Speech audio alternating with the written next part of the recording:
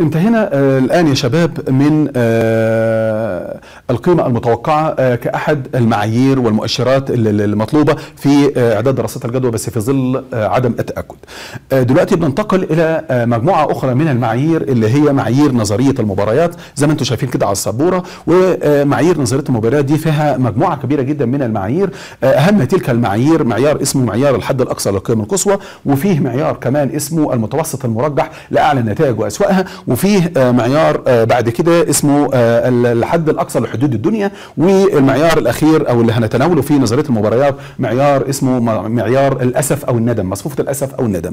فعشان نخش في الموضوع على طول وازاي نتعلم نعد معايير نظرية المباريات هناخد مثال تطبيقي على طول. المثال التطبيقي ده بيقول إذا بلغت التكاليف الاستثمارية عن أربع مشاريع استثمارية آه س وصاد وعين آه ونون آه 400 ألف ريال دي التكاليف الاستثمارية وكان سعر الفايدة الموجود في السوق 10% والصافي التدفق النقدي آه كان زي ما أنتم شايفين في الجدول اللي مكتوب دلوقتي أمامكم على السبورة. بالنسبة للمشروع صاد آه س وصاد وعين ونون زي ما أنتم شايفين أهوت ونسبة الاحتمال هنا المشروع وهنا الاحتمال. بالنسبة للمشروع س كان عندنا في السنة الأولى 100 وفي السنة الثانية آه كان 90 ثم 150 ثم 80 وبالنسبة لصاد 120 150 160 140 كل دي معطيات. وبالنسبة للمشروعين التدفق النقدي له كان 150 130 200 180 وبالنسبة للنون 90 آه 80 100 190 دي هذه معطيات طالما أنا كاتبها باللون الأسود يبقى ديت معطيات.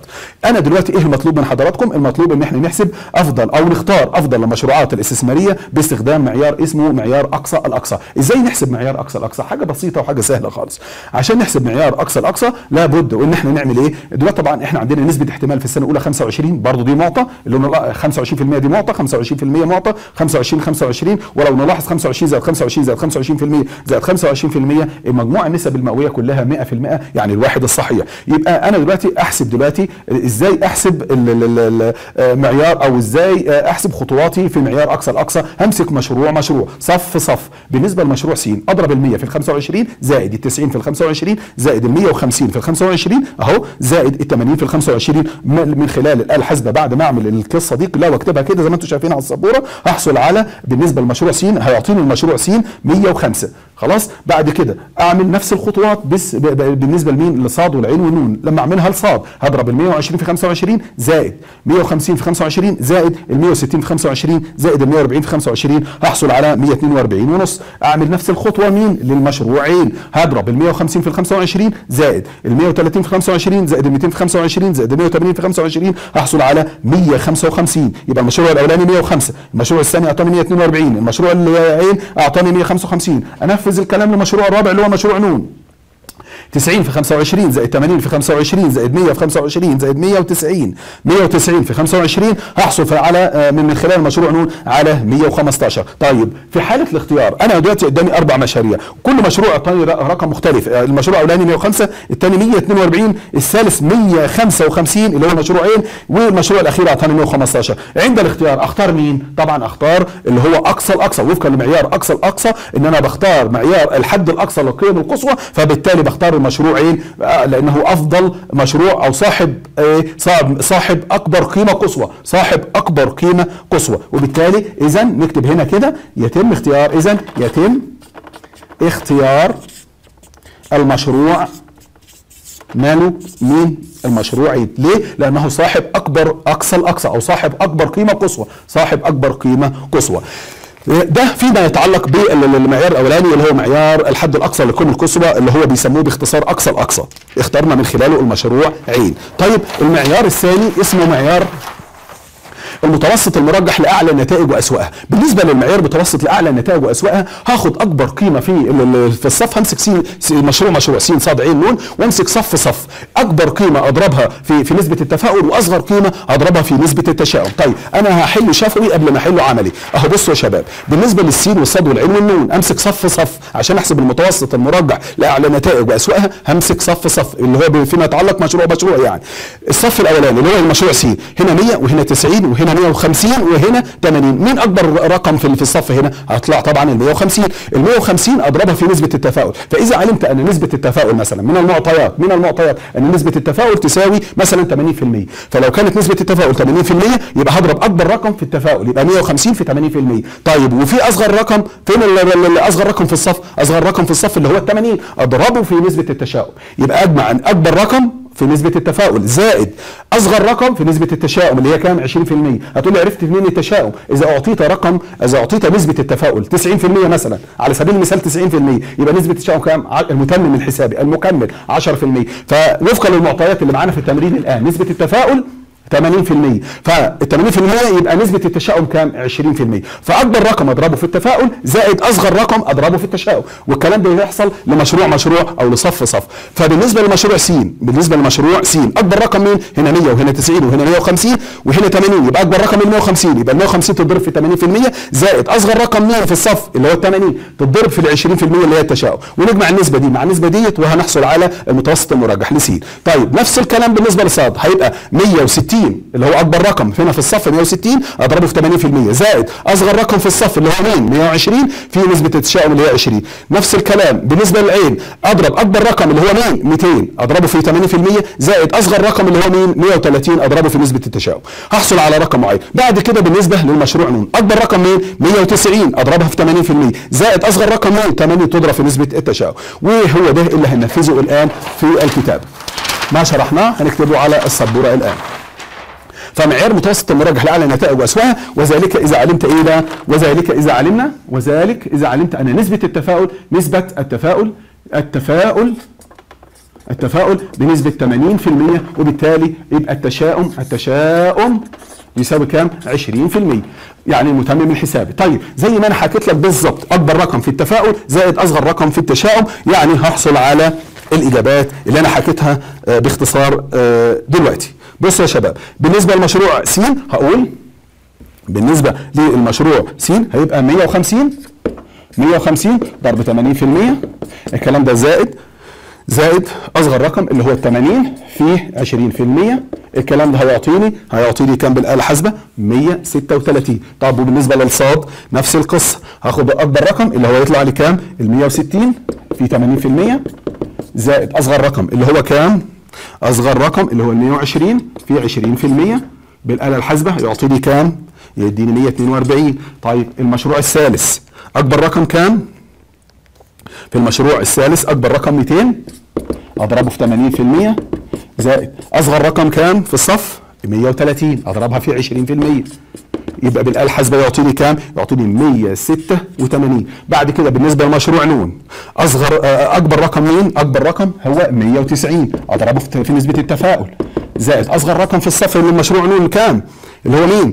قال لك اللي هو 80 أضربها في 20% يعني القصة دي بالاله الحاسبه تعطيني 168 طيب بالله عليك إحنا دلوقتي وفقا لهذا المعيار معيار المتوسط المرجح لأعلى النتائج واسواها بختار الأعلى والأقل طبعا بختار الأعلى هنا 136 وهنا 142 وهنا 186 وهنا 168 يبقى أختار المشروع مين؟ يتم اختيار برضو المشروع عين ليه؟ لأنه صاحب أعلى متوسط مرجح لأعلى النتائج واسواها هو طبعا ده صاحب أعلى إيه متوسط مرجح بين المشاريع الأربعة يبقى في. في, في, المعيار ال- السابق اللي هو أقصى الاقصى اخترنا المشروعين وفي المشروع وفقا برضه للمعيار المتوسط المرجح لأعلى نتائج واسواق برضه اخترنا المشروع مين؟ اخترنا المشروعين.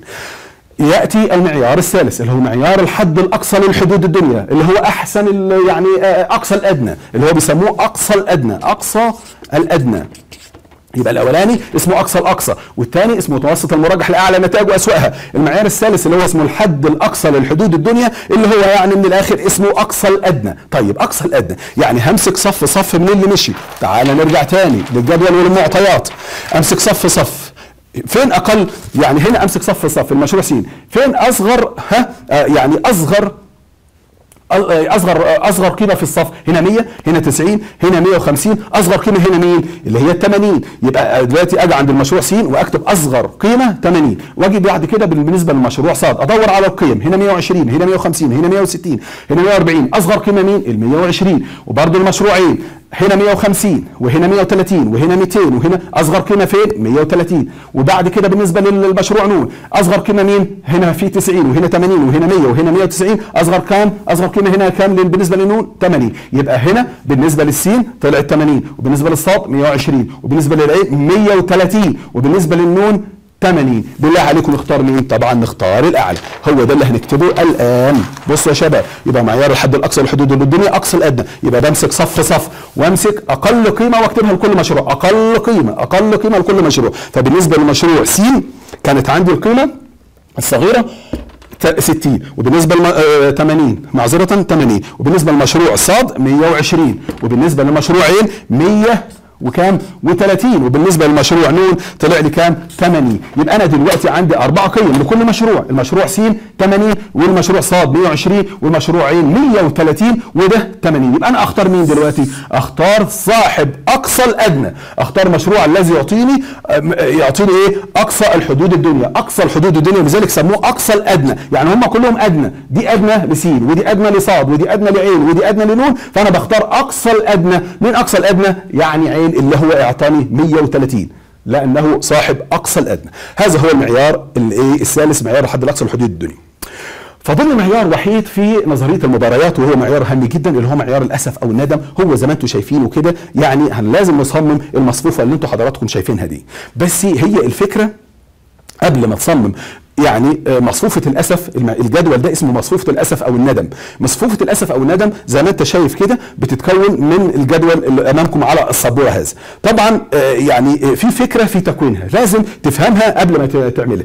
إيه الفكرة؟ إن برجع تاني للمعطيات. برجع تاني للمعطيات. أهو أنا لذلك أنا لازم غصب عني ها أنا مضطر أرجع للمعطيات مرة أخرى. هذه هي المعطيات. تمام؟ همسك عمود عمود. همسك مش همسك مشروع مشروع. اوعى تتلخبطوا مش همسك صف صف. لا ليس صف صف. همسك عمود عمود. عشان اعمل مصفوفة الأسف أو مصفوفة الندم همسك عمود عمود. وأكبر قيمة في كل عمود أحط مكانها صفر. يعني العمود الأولاني هنا 100 120 مش في صف. ما ليس بالصف ليس بالصف باكد للمرة العاشرة أهي ليس بالصف وإنما بالعمود. هنا 100 120 150 90 مين أكبر قيمة هنا؟ هتقول لي والله أكبر قيمة هنا هي ال 150 ال 150 دي أروح هناك في مصفوفه الاسف والندم وأحط مكانها صفر.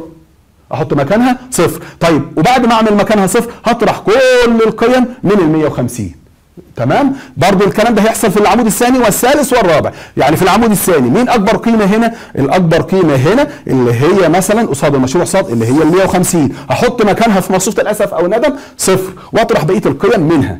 طيب هنا أصغر أكبر قيمة هنا في العمود الثالث مين؟ أكبر قيمة في العمود الثالث هنا 150 160 200 100 يبقى أكبر قيمة هنا مين؟ اللي هي ال 200 أحط مكانها في مصفوفة الاسف أو ندم إيه؟ برضو صفر. واطرح بقية القيم منها طيب ما تيجي ننفذ كده مع بعض؟ يلا. يعني أنا دلوقتي أرجع تاني وأشتغل الشغلانة بتاعتي اللي هي مصفوفة الأسف أو الندم مصفوفة الأسف أو الندم طيب انت دلوقتي بتقول لي إيه؟ اكبر قيمة كانت هناك اكبر قيمة كانت هناك كانت قصاد المشروع إيه؟ عين. كانت قصاد المشروع عين اللي هي كانت 150 صح؟ هحط مكانها دلوقتي إيه؟ صفر. خلاص كده؟ أحط قصاد المشروع عين صفر. ليه؟ لأن كانت صاحب أكبر قيمة. وبقية القيم هتطرح منها. بقية القيم هتطرح منها. لما أطرح كل القيم اللي كانت في العمود من ال 150 يعني هقول إيه؟ زي ما تقول يعني كانت 150 يعني يعني هنا كانت إيه؟ 100 ناقص 150 هتبقى تديني كام؟ سالب 50 سالب 50 بعد كده كنا بنقول 130 ناقص 150 أو كنا بنقول كام؟ كنا بنقول أهو كنا بنقول كام؟ أهو. 120 ناقص 150 100 أهو. 120 ناقص 150 هتديني سالب 30 تمام؟ أهو. سالب 30 بعد كده 150 ناقص 150 صفر. بعد كده اللي هي آه 90 ناقص 150 90 ناقص 150 اللي هي تديني سالب 60 بعد كده نفس القصة في في العمود الثاني والثالث والرابع. يعني برضو هنا هختار أكبر قيمة وأحط قصادها مين؟ صفر. أكبر قيمة هنا كانت عندي مين؟ قصاد الصاد. كانت قصاد الصاد. أهي صفر. خلاص؟ أهو أرجع تاني عشان تفهموها تاني. في المشروع التاني. أهي نرجع تاني معلش. في المشروع الس... في, العمود الثاني. أكبر قيمه هنا كام؟ اللي هي ال 150 يبقى أحط مكانها في المصفوفه كام اللي أنا لسه قايلها دلوقتي؟ صفر. وبعدين أطرح كل القيم دي منها. يعني أقول 90 ناقص 150 يبقى هنا كام؟ هتبقى كام؟ مثلا آه سالب 60 وهنا هتبقى 150 ناقص 150 صفر. وهنا هتبقى 130 130 ناقص 150 هتبقى سالب 20 وهنا 80 ناقص 150 هتبقى سالب 70 سالب 70 وأرجع تاني أكتب الكلام اللي أنا حكيته من دلوقتي. أهو نفس الكلام اللي حكيته بالظبط. أهو قلت لك هنا من شوية قلت لك هتبقى 60 سالب 60 وبعدين دي صفر. وبعدين لسه قايل أنا من شوية دي 20 وبعدين لسه قايل لك برضه من شوية قلت لك دي هتبقى سالب إيه؟ 70 بنفس القصة بالظبط أكمل المشروع العمود الثالث والمشروع الرابع. أكبر قيمة أحط مكانها صفر اللي هي هتبقى قصاد العين. أهي قصاد العين صفر واطرح. بعد كده كل القيم من هذه القيمة وبالتالي هحصل على هنا سالب 50 وهنا هحصل يا سيدي على سالب 40 وبعد كده طبعا صفر خلاص معروفة ديت. وبعد كده هنا هحصل على الإيه؟ على سالب 100 بنفس المنطق العمود الأخير اللي هو إيه بقى؟ أكبر قيمة هحط مكانها صفر. اللي هي تطلع مين؟ قصاد النون. أهو قصاد النون. أهي عشان برضو للتأكيد للتأكيد للمرة الرابعة. أكبر قيمة هنا مين أكبر قيمة هنا كام؟ هنا 80 هنا 140 هنا 180 هنا 190 أكبر قيمة مين؟ اللي هي 190 أحط مكانها إيه؟ صفر في المصفوفه في الجدول اللي ورا. طيب لما أحط هنا صفر أطرح كل القيم من ال 190 يعني أقول 80 80 ناقص 190 سالب 110 يبقى أنا أول رقم هيطلع لي هنا هيبقى كام؟ سالب 110 أهو سالب 110 بعد كده الرقم الثاني بنقول إيه؟ 140 ناقص ناقص 190 ناقص 190 يعني كام؟ يعني سالب 50 أهو سالب 50 بعد كده ال 180 ناقص 190 يعني كام؟ سالب 10 أهي سالب 10 واحطها ما بين قوسين كده. بعد كده طبعا 190 ناقص 190 اللي هي مين؟ اللي هي الصفر. ما أنا قلت لك أكبر قيمة نحط مكانها إيه؟ صفر. أكبر قيمة مكانها الصفر. كده نكون خلصنا. بس فاضل العمود الأخير اللي هو مقدار الأسف أو الندم. مقدار الأسف أو الندم. بنحسبه إزاي؟ نيجي نبص بقى نمسك مش إحنا من شوية اتكلمنا عمود عمود؟ آه نيجي عشان نحسب مقدار الأسف أو الندم مش هنمسك صف مش هنمسك عمود عمود هنمسك صف صف. اوعى تتلخبطوا. يعني في الأول عشان نجيب الكلام ده حسبنا حطينا الصفر مكان أكبر قيمه وهنا الصفر مكان أكبر قيمه وده هنا الصفر مكان أكبر قيمه وهنا الصفر مكان أكبر قيمه وطرحنا بقية العمود من نفس من أكبر قيمه تمام؟ تمام. يعني اشتغلنا عمود عمود. أما الآن هنشتغل صف صف. إزاي؟ أهو هنا نختار صف صف. هنا سالب 50 سالب 60 سالب 50 مين أكبر قيمة سالبة؟ سالب 110 نحطها ما بين قوسين كده. أهو سالب 110 أهي تمام. يبقى بنختار أكبر قيمة سالبة. أكبر قيمة سالبة. في المشروع س طلعت 110 طيب في الم... في, في, في المشروع ص أكبر قيمة سالبة كام؟ هنا 30 وهنا صفر وهنا 40 وهنا 50 يبقى نكتب 50 أهو. بعد كده بالنسبة للعين أكبر قيمه سالبة مين؟ تقول لي 20 أهي. لأن هنا 10 صفر 20 صفر. طيب بعد هنا في المشروع نون 60 70 100 صفر. أكبر قيمه سالبة اللي هي مين؟ اللي هي ال 100 أهي. طب بالله عليك أنت دلوقتي اخترت بالنسبة بالنسبة للسين مقدار الأسف بتاعه الأسف مقدار الأسف أو الندم للسين 110 أسف. بالنسبة للصاد الأسف بتاعه 50 وبالنسبة لمشروع عين الاسف بتاعه 20 بالنسبة للمشروع نون نون الاسف بتاعه 100 لما أجي أختار أختار اللي أعلى اسفا ولا أختار اللي أقل اسفا؟ يعني اللي يعطيني نسبة ندم عالية ولا اللي يعطيني نسبة ندم قليلة؟ المفروض إن أنا أختار وأنا بختار أختار أفضل مشروع وفقا للي هيعطيني أقل أسف أو أقل ندم. زيه زي الانحراف المعياري زي زي معامل الاختلاف. ففي ظل الاختلاف وفي ظل الانحراف المعياري اللي بيقيس الخطورة ويقيس التشتت ويقيس الأسف والندم وزي فترة الاسترداد نختار الأقل نختار الأقل. يبقى في هذه الحالة هنختار المشروع س ولا صاد ولا عين ولا نون. لا هنختار اللي بيعطيني أقل أسف وأقل ندم. يعني هختار المشروع مين؟ هختار المشروع عين. لأنه صاحب أقل أسف أو أقل ندم. وبكده نكون انتهينا. ولله الحمد من يعني معايير دراسة الجدوى في ظل عدم